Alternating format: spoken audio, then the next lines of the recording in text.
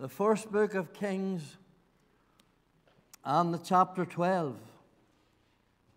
We're back again uh, this morning at the man called Jeroboam. Now, we're not going to get this portion of Scripture finished this morning as I thought we would last week. We'll be returning again to it not next Lord's Day, but the morning after, God willing, if we're still here. But we're at 1 Kings chapter 12 again, and we're reading from the verse 25. The verse 25.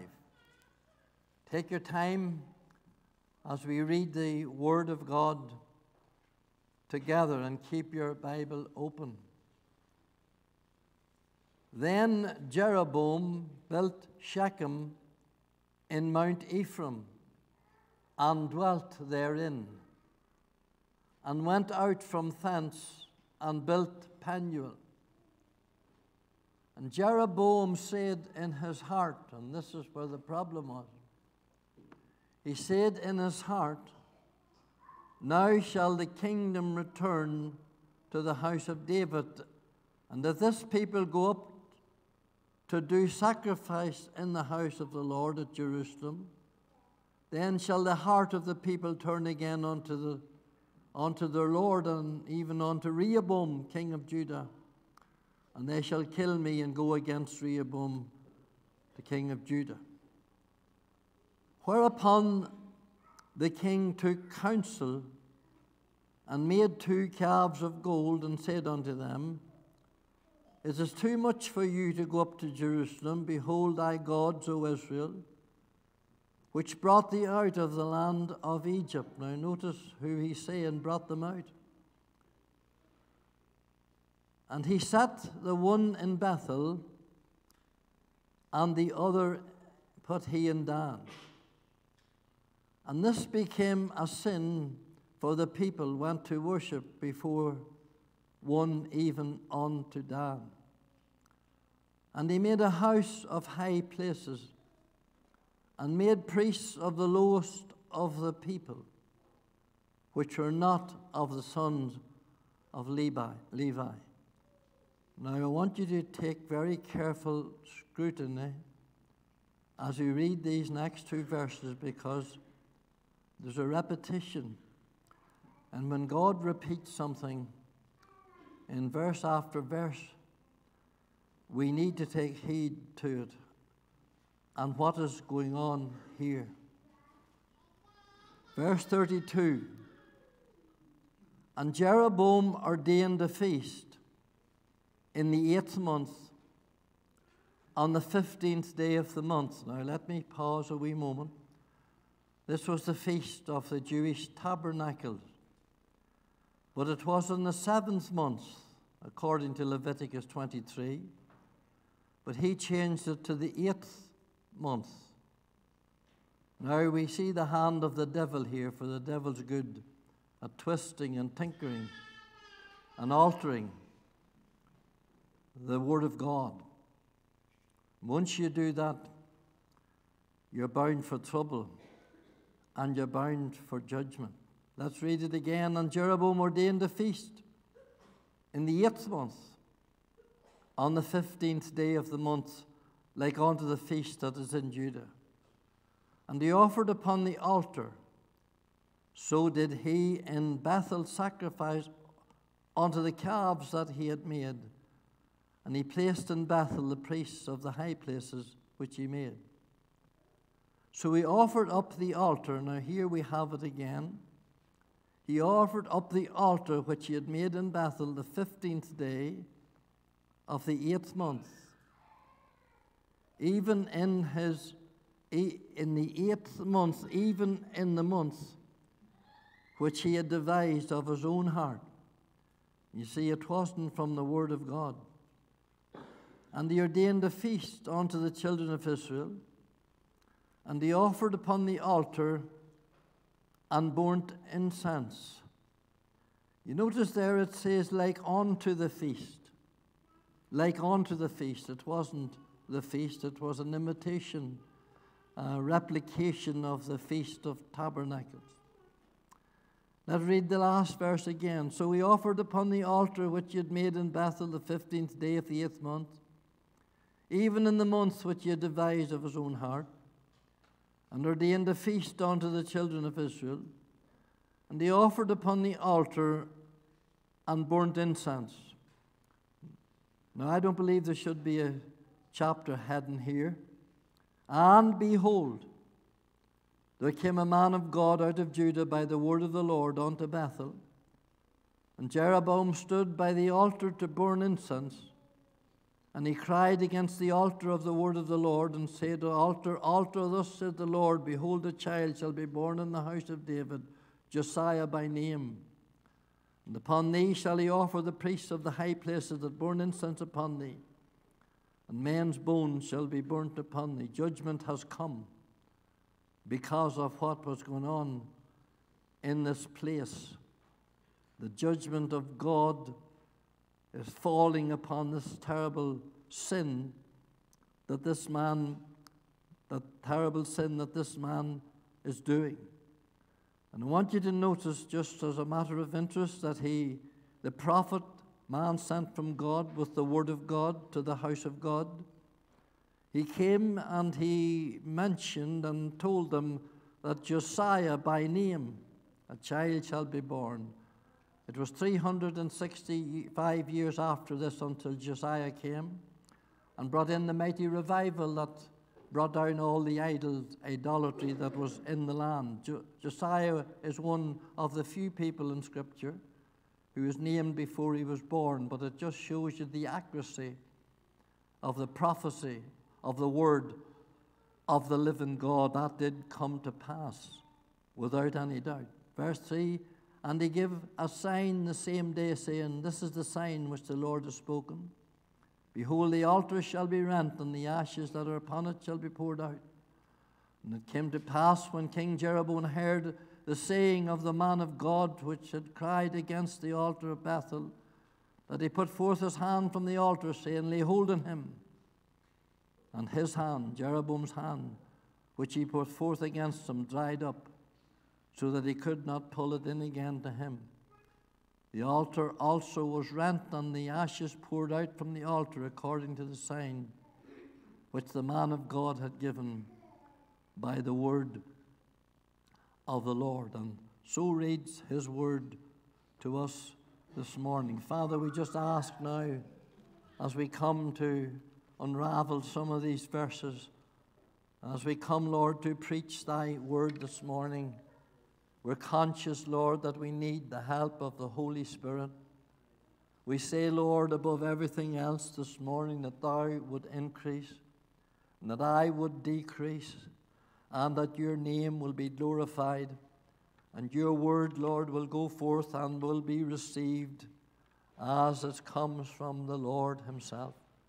Thank you for these scriptures, Lord. Thank you for the prophetical word of God, the word of God that standeth sure and never changes.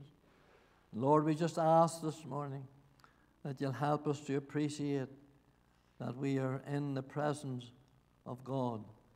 Amen. Proud, apostate, domineering leaders don't like to lose their power and their grip and their hold over their people. Jeroboam, for fear of the ten tribes of Israel under his command, would go back, would go back to the true worship of Jehovah in the temple at Jerusalem. He skillfully devised an alternative, deceptive, deceptive plan of worship. And this plan of worship we read was with these false idolic calves. And uh, we could say that he was mixing the world with the church, and we'll see that in a wee moment, and we saw it last week. Of course, that's all around us today. Denominations and groups and fellowships across our land. There's a mixture.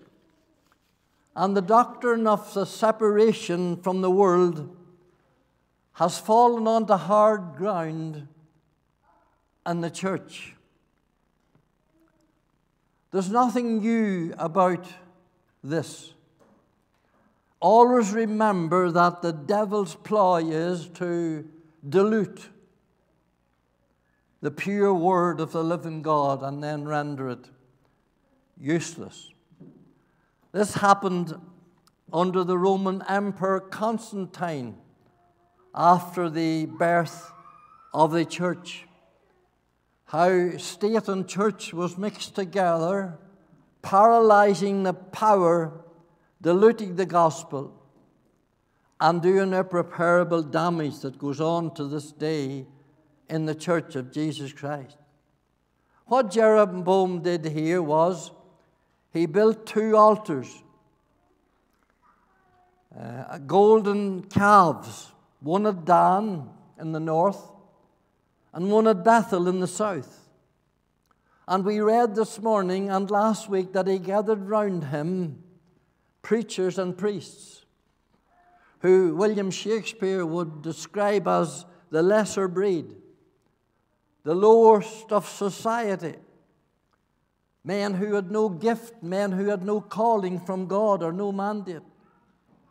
And they went out deceiving the people. In verse 28, it said, These are the gods, O Israel, who delivered you from the bondage, from the tyranny from the land of Egypt. They said to them, It was them, these gods, these false idols from Egypt, that brought thee out and gave thee the quails and the manna, and healed you when the serpent bit you. And what they're saying is, what's going out as invitations from this false worship is come to us come to our new dimension, our accommodating, our friendly church, our new age church. It's time for you to break free from Rehoboam and the two tribes that are worshiping in Jerusalem. That is antiquitous, it's legalistic. It's the law of Moses and Solomon and David. And we're past those days now. We don't want those days now.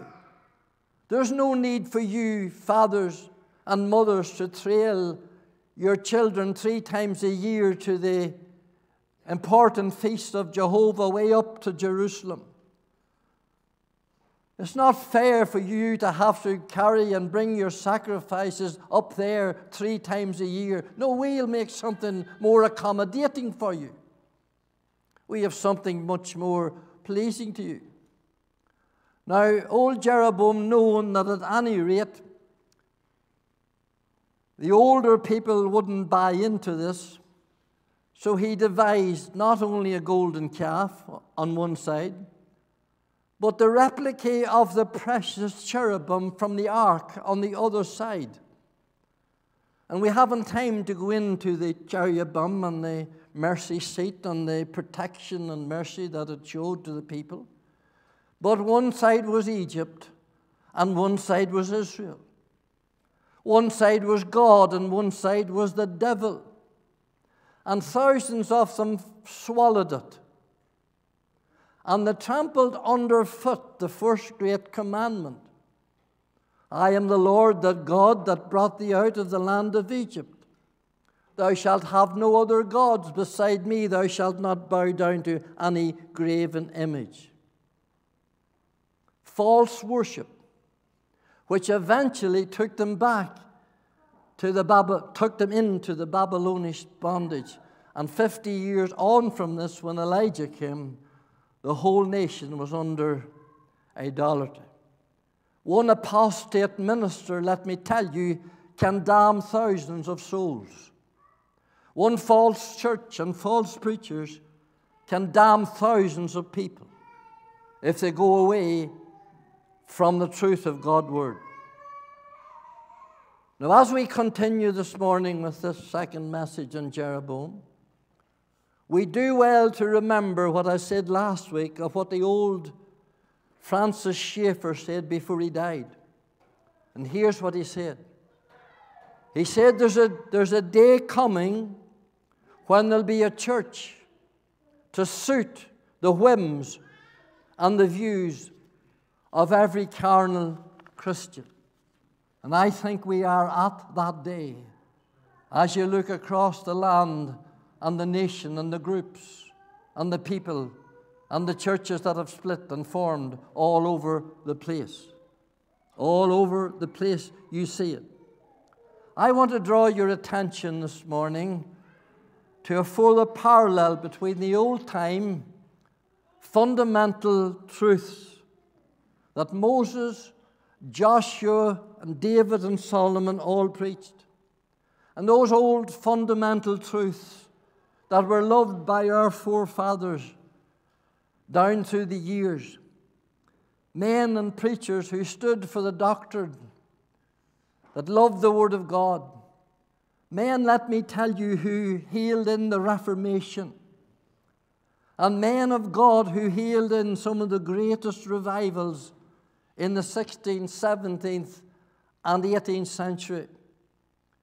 Revivals that delivered our nation in years and times gone past. Revivals that came with mighty power and swept across the abyss of debauchery and the departure from the faith that there was. And I want to say this morning again, and that's why we're emphasizing revival in our prayer meetings. Unless we have an intervention from heaven, unless we have a Holy Ghost move of the Spirit of God from heaven, we're in great trouble. And I'll tell you why. I'll tell you why our nation and our province is in the grip of a sexual fever. Now, I've chosen these words very carefully this morning. Our nation and our province is in the grip of a sexual fever. This damnable woke ideology, fueled by the worst left wing Marxist communist government ever we had in Westminster. We are on the verge of seeing some awful things. And I want to say this morning, and I have studied a bit of history, whenever God turns his back and hides his face from a nation and from a people, the first thing that you see and I can prove that to you this morning, is an ominous rise of sexual perversion. We're living in the days when every day we hear of pedophiles, transgenders, sodomites. The days of Noah and the days of Lot are the days in which we live. There's not a day that you'll turn on your phone or watch your news or lift your paper, but you're bombarded with filthy, explicit, pornographic filth. There's hardly a day will go past, but you'll hear, even in our own land, of the rape of men, the rape of women, and worst of all, the rape of children. Indecent images of two and three year old are found on the phones. And God only knows, we only know the wee bit that comes out in the open. And my friend, if we could see what was going on behind the scenes this morning, I tell you, there wouldn't be one of us but would be weeping and crying to God in these prayer meetings. Ministers, pastors, doctors, lawyers, politicians, journalists, teachers, and, uh, and through the courts have come even this year in Northern Ireland cases of buggery, incest, and bestiality. They've all been before the courts in Northern Ireland. I tell you, perilous times have come.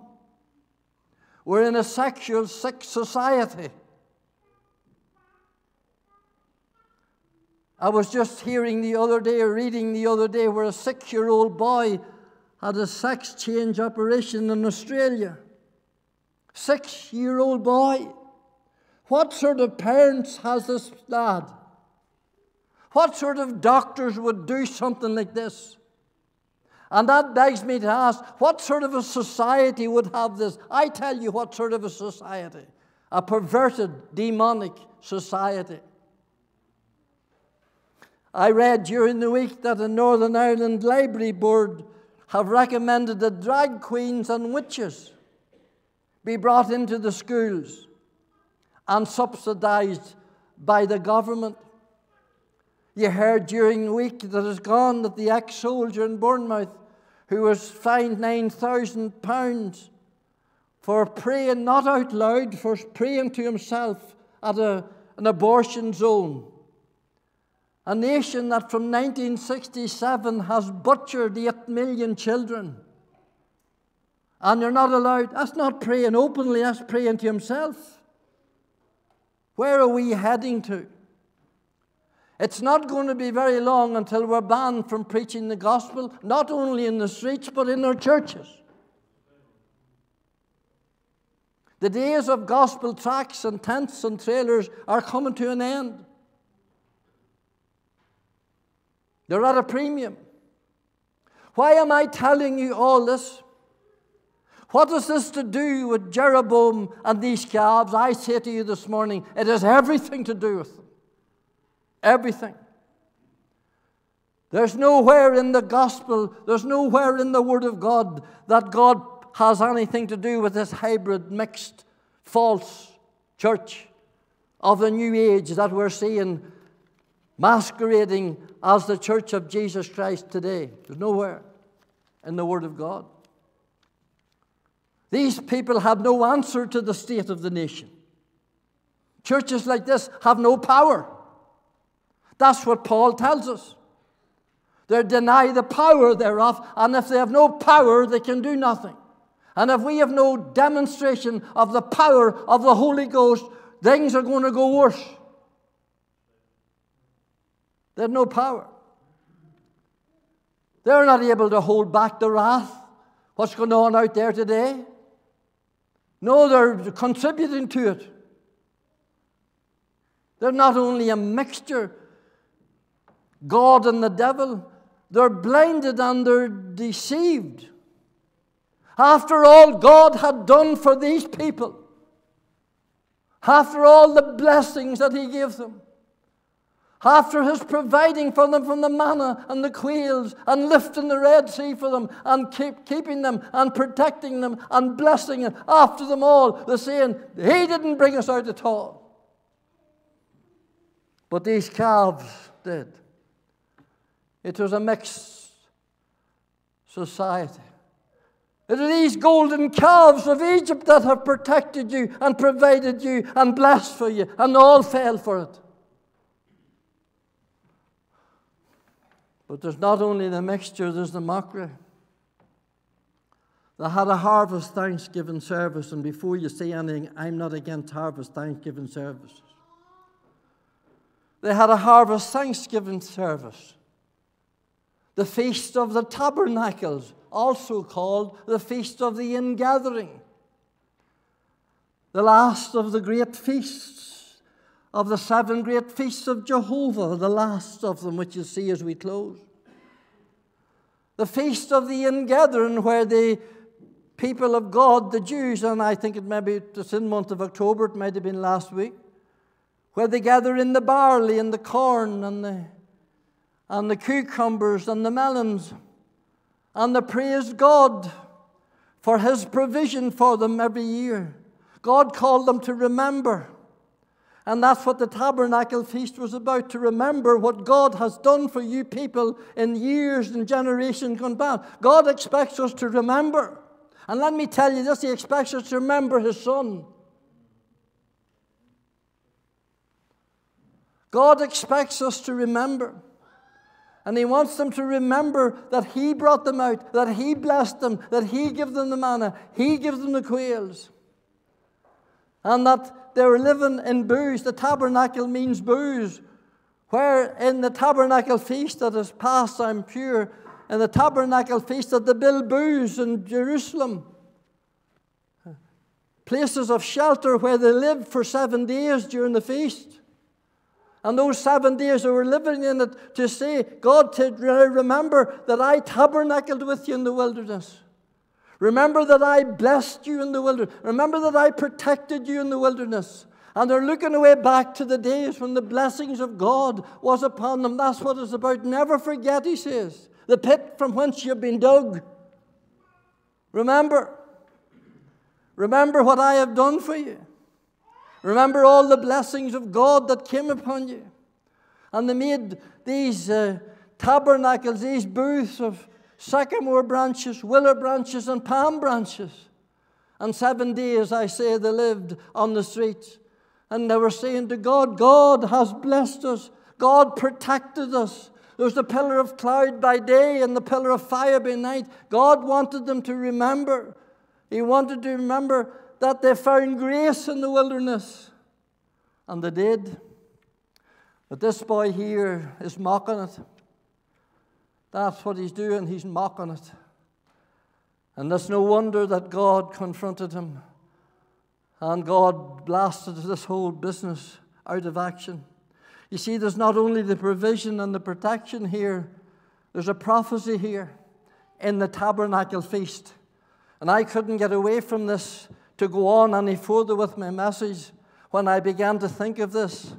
There's a, prophet, there's a prophetic fulfillment of scriptures in this tabernacle feast, in these booths where they stayed for seven days in the shelter of Jerusalem for the tabernacles. It tells us that time is passing and fleeting. It tells us that deathbeds are coming. It tells us that, uh, that life will soon end. We're only passing through. We hear we have no continuing city, but we seek one to come. We're marching on towards Zion.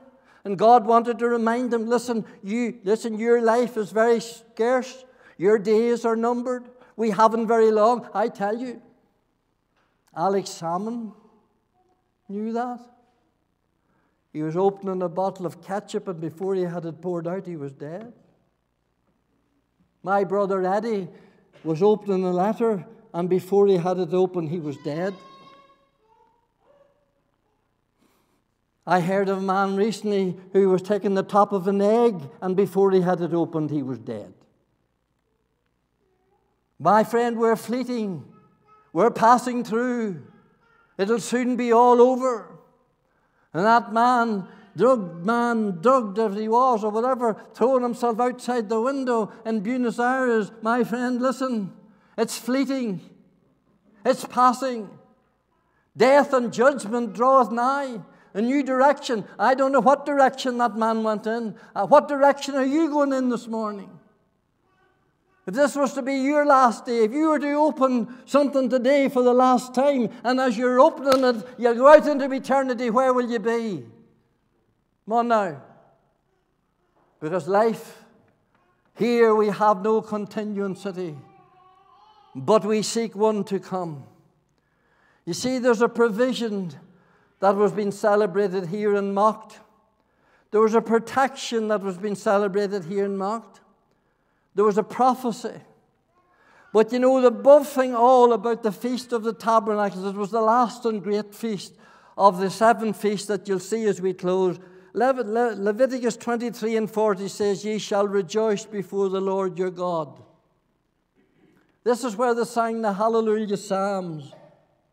This is where they praised the Lord and thanked the Lord for all his blessings during the year and the years that have gone. Thanking God for his goodness, his long suffering. This is it, it, all ended in a crescendo of praise. These men are mocking it. Jeroboam's mocking it. He's doing the same as, as, as, as Aaron in Exodus 32 with the golden calf, dancing, reveling, and carousing round this idol. And my friend, it's coming to an end. And our nation is languishing under idolatry this morning and is coming to an end unless we have a move of God. Unless the Holy Spirit pours out his, his mighty power upon us, my friend, The church that we have out there this morning will not do it. It'll not do it. It'll not do it. You can't expect God to move when the devil's in it. We need, we need separation from the world. We need to be clean. We need to be holy. We need to be fierce for God in these last days, or it's all over. Oh, if I could waken up the people of God to scriptures like this. How fierce these days are we live in. Let me give you this the Feast of the Trumpets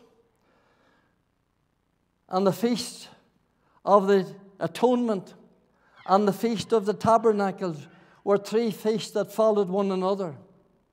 The Feast of the Trumpets was the trumpet sounding for the returning of the people to Jerusalem. Isaiah 27 and, thir- 27 and 13 says, Those that are ready to perish shall come from Assyria and worship in Jerusalem.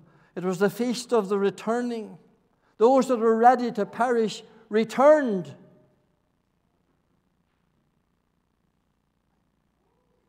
Who's ready to perish here this morning?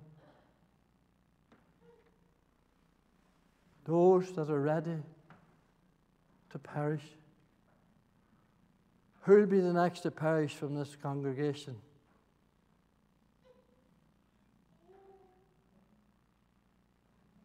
Backslider, it's time to return. The trumpet sounding this morning for you to come back. Come back to the prayer meetings. Come back to the table. Come back before it's too late. And then the feast of the atonement wasn't for returning, it was for redemption, where the lamb was slain in Yom Kippur, the blood of the lamb. And the feast of the tabernacles was for rejoicing. Now, I want you, if we have five, ten minutes left, to turn to John's Gospel, chapter 7.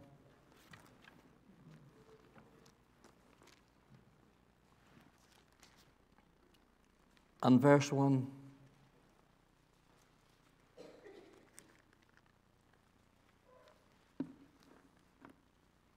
Here we have the Lord Jesus at the last great feast, the feast of the ingathering, the feast of the tabernacle. Is it any wonder that Jeroboam mocked it. Because the devil mocks anything that God loves. You watch this now here in verse 1. After these things walked in Galilee, Jesus walked in Galilee. For he would not walk in Jewry because the Jews sought to kill him. He wouldn't go up to you. Not because he was afraid of them killing him, but this is what was happening. Verse 2 Now the Jews' feast of the tabernacle was at hand. This is the feast they're celebrating here in Jerusalem now, as we read this scripture. But his brethren said unto him, Depart hence and go into Judea, that thy disciples also may see the works that thou doest.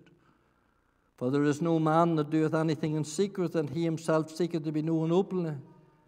If thou do these things, show thyself to the world. Let me stop a wee moment there. These are his brethren in the flesh. These are his brothers that lived with him, that was brought up with him, and he had a number of them, and he had sisters. And what they're saying to him, you go up to Jerusalem and do the mighty things that you're doing around here, and people will worship you. Well, that's what the devil does. That's what the devil tried. Throw yourself down from the top of the temple, and the people will say, You're mighty. So they're telling the Lord what to do. Listen, don't you tell the Lord what to do. And don't you tell the Lord where to go. Because John put in in verse 5 For neither did his brethren believe in him. Your family's not always right, you know. You need to test these things out with the Word of God. This is the devil's work. Verse 6 Then Jesus said unto them, My time is not yet come, but your time is already, has already come. The world cannot hate you.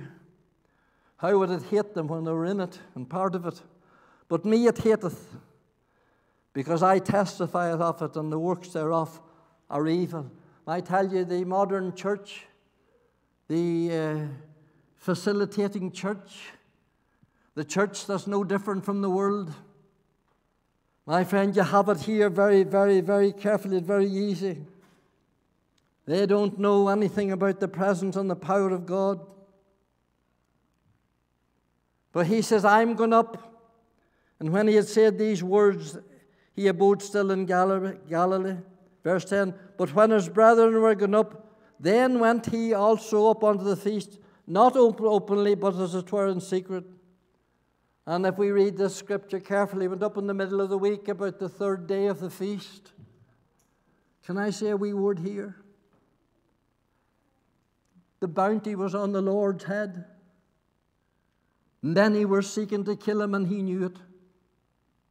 And yet God had commanded that this feast should be kept. It was a command. There weren't, all the feasts weren't command, but this one was a command. And whether they were going to kill him or whether the death penalty was upon his head, which he knew very well, he was going to obey God. And we ought to obey God rather than men. Didn't come into the equation that he would run and hide. But he went in his own time. And God does things in his own time and in his own way. And he went up. He went up in his own time to there. Verse 14 says, now, Jesus, now about the midst of the feast, Jesus went up into the temple and taught. He not only went up, he went into the temple and he preached the word. Then, verse 37, we come to a close with. And I want you to get your eyes on verse 37. That's why I couldn't go on any further when I got to these feasts. I was so hurt and so grieved in my soul to see the imitation feast of the devil, the replica of the true living Word of God, tinkered and tampered with, and thousands gathered round it. My dear friend, remember this that we're in a battle, and the battle's fierce. And the battle for you young people will be fierce. It'll be fierce. Go back. Go out of a house like the lifeboat where they're preaching legalism all the time. Go out of it. Go away to where you can sing and where you can praise. Well, here, there's nobody praised more than these people. Go away to somewhere where you can dress what you like and do what you like and live what you like and there's no difference. It'll be very hard to know. It's very hard to know this morning whether it's a church or whether it's a, a, a disco. Oh, boys, you're fierce this morning. I'm only saying what I'm seeing. I'm only saying what I'm looking around me. I'm only saying after a man of 78 years of age, a man 40, 40 years more in the work of God, I'm only say, saying what I'm seeing. And we're still in the state that we're in. And because God has turned away from us, the sexual sins are everywhere. God knows what you'd hear next and who it'd come from. I don't know what's going on in this congregation. I don't know what's going on in your home. But God knows. He knows. And on this last great day, and that's what it says in verse 37 in the last day, that great day of the feast, Jesus stood. Remember now, he stood. Remember, they're looking to kill him. He stood and he cried. He cried. There was an, an intensity here. But there was also a simplicity here because he cried, saying, If any man thirst, let him come unto me and drink. How simple is that word come?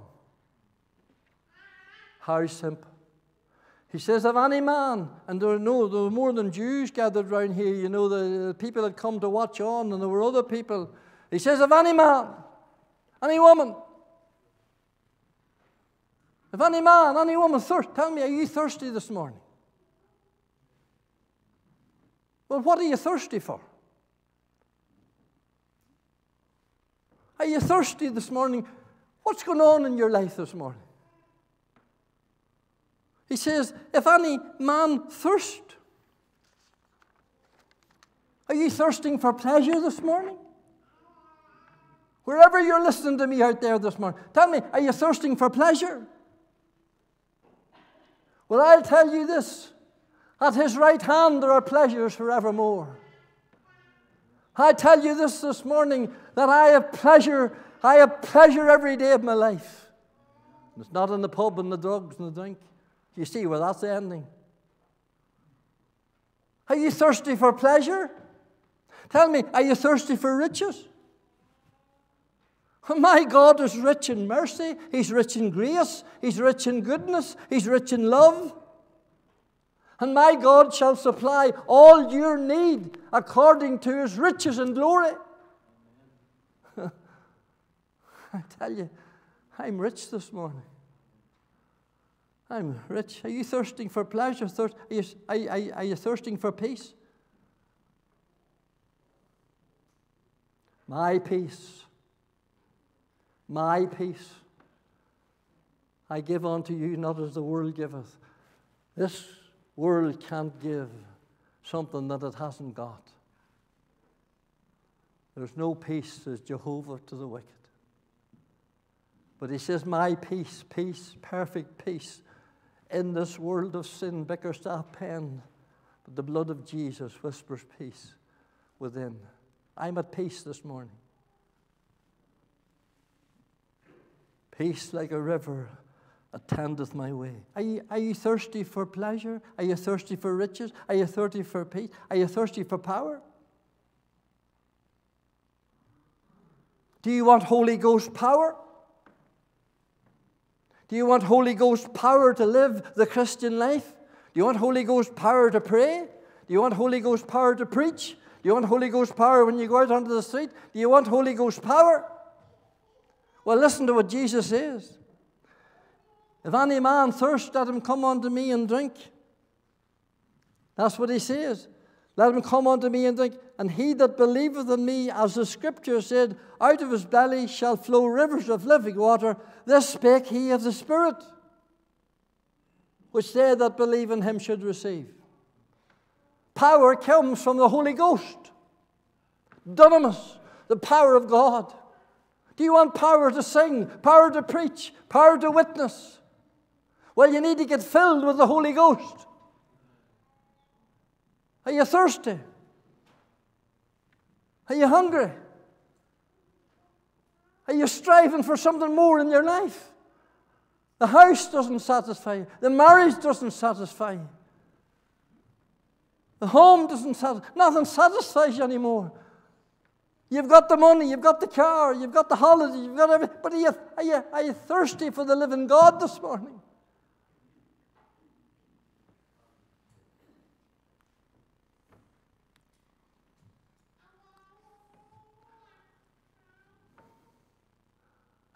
These people were rejoicing and praising God on the last day of the feast. Let me close by saying this. The priests went down to the pool of Siloam on this last day, the last hour of the feast. They went down with their golden vessels down to the pool of Siloam, a trail of them, and they brought up water. And they all came in before the Lord, and this is what he's watching. According to Leviticus, they poured the water out on the altar. The water poured one after the other out of their golden out into the altar. This is what Jeroboam's mocking out into the altar. What does water speak of? It speaks of the Word, yes. It speaks of the Holy Spirit, yet. But what did it mean to them? It meant, it meant that for 40 years in the wilderness, they never thirsted. The water came from the rock to feed a million and a half or more of them every day. And they're also celebrating the fact that when the, when the harvest was coming and the famines come, he sent the early rain and he sent the latter rain. Bless his name. Bless his lovely name. My friend, he gives us drink after drink after drink every day. He supplies our need every day. And they're thanking God for the times of the famine and in the wilderness when it was dry and when it was barren, and He sent the rain and He sent the water, and they're praising and they're rejoicing and they're singing the Hallelujah Psalms and they're ecstatic, I tell you, with remembering what God has done. And we're so dry this morning.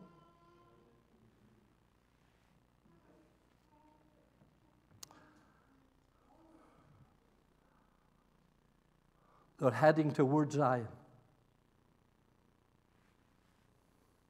That was the Feast of the Tabernacles was about.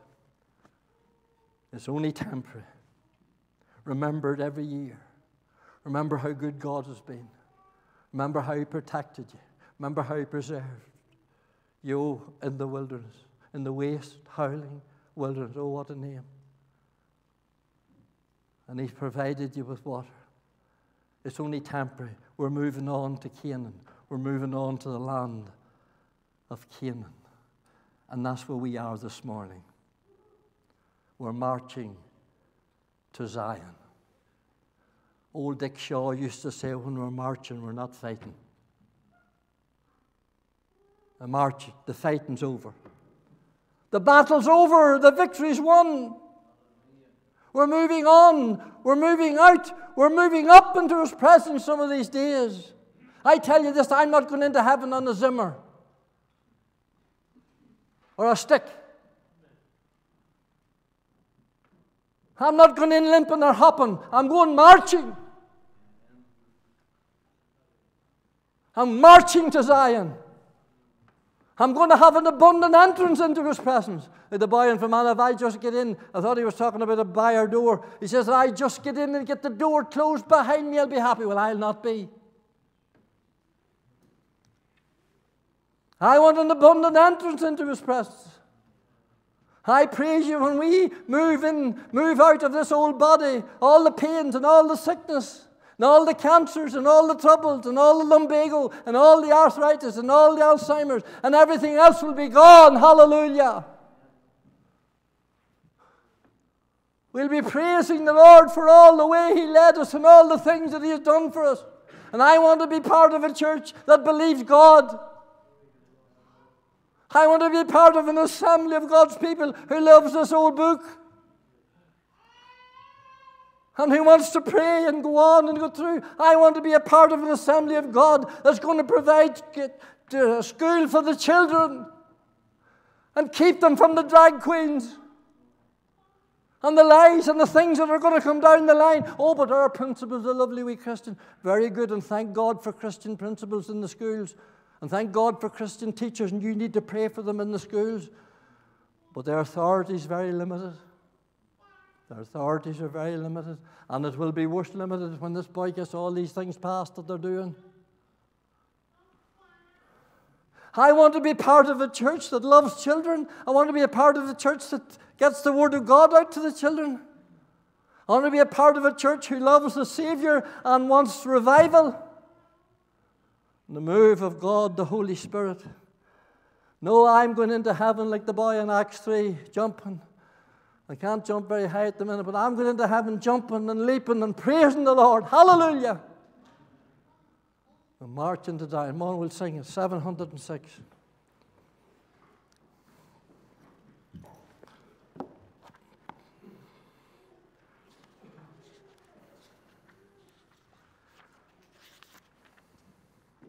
Come, ye that love the Lord. It's for you now that love the Lord, this hymn. And if you love me, you keep my commandments.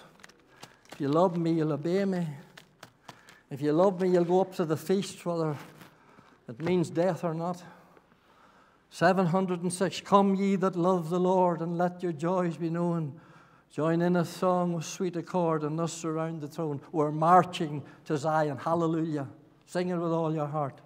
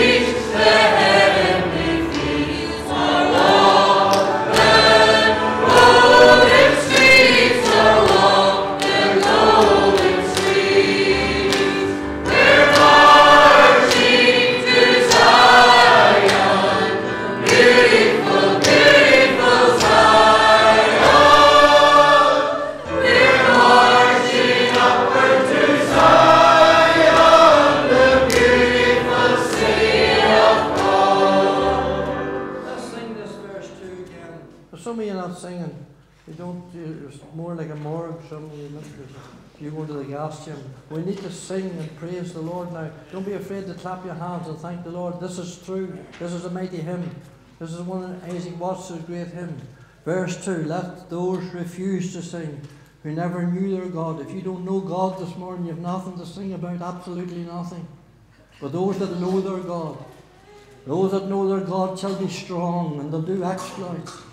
They that know their God, let us sing, let us praise, let us thank God for all that He has done here, all that He make this our harvest thanksgiving, all that He has done for us in the past. Let us praise Him in these hymn, verse 2.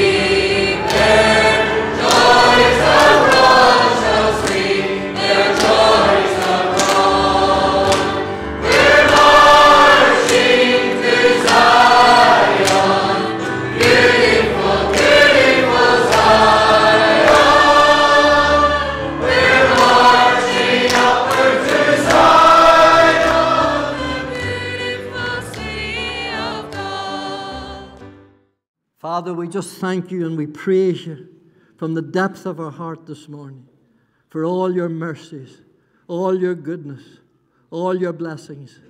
Father, help us to stand strong and firm in these last days. We take authority over the powers of hell.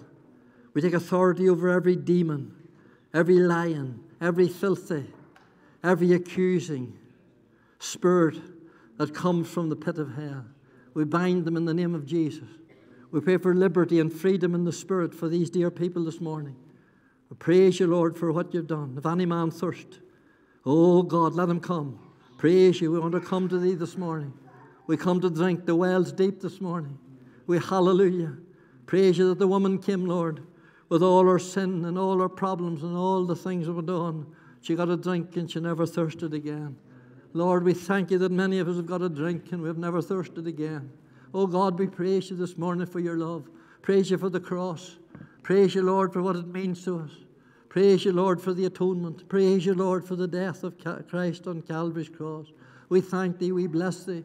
We pray, Lord, for those that must go, and bless those who stay. And may the peace and the presence of the Lord be around us and upon us even this day.